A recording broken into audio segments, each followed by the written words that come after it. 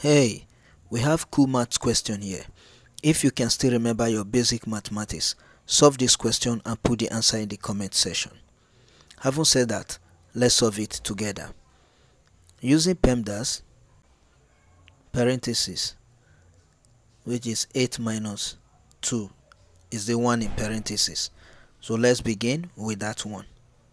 8 minus 8 divide by 2 square 8 minus 2 is 6 parenthesis 6 exponent is the next one. The exponent we have here is 2 square. 8 minus 8 divided by 2 square is 4 parenthesis 6 the next thing is multiplication. The next after that is division. Both multiplication and division has the same priority.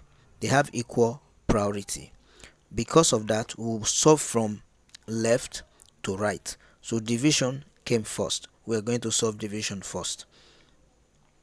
8 minus 8 divided by 4 is 2 parenthesis 6 now we can solve multiplication now which is the next one.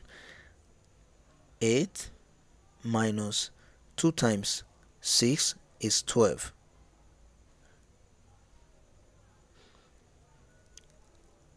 addition and finally subtraction. 8 minus 12 equal to minus 4 this is the correct answer